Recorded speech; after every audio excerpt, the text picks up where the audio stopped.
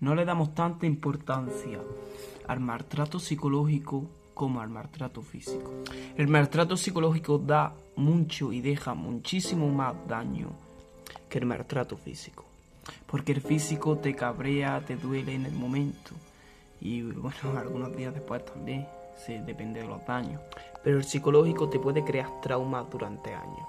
Muy fácil con que acompleje a una persona o le vaya bajando poco a poco su autoestima, la va anulando como persona. Yo creo que ese es el peor maltrato. Por eso no puedes dejar que tu autoestima dependa de tu pareja, sino de ti mismo, de tus logros, de tus metas, no de la felicidad que te aporte otra persona. Porque en ese momento esa persona que tú amas te tiene en su mano y tu felicidad depende de esa persona.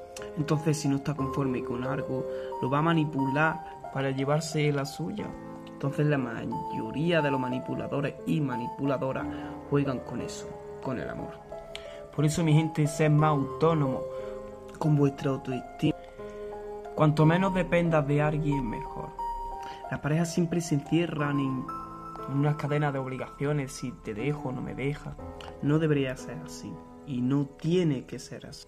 Tenemos que ser personas libres que anden juntas, ¿entiendes? Sin atadura. En plan, con tu vida, con tu gusto, con tus cosas, tu ocio, tus personas. Y dentro de eso, que la otra persona siga caminando.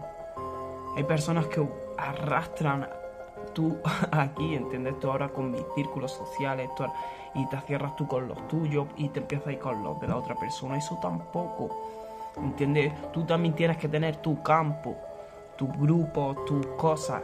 Hazla. No dejes de hacer nada por nadie. No, dejes que poco a, no dejes que poco a poco te domine y te coma y acabas, y acabes siendo la persona que la otra persona quiere que seas. No. Quédate con la persona que te, que te quiera y le gustes tal y como eres. Tened cuidado con las manipulaciones, porque paso a paso llega el maltrato psicológico.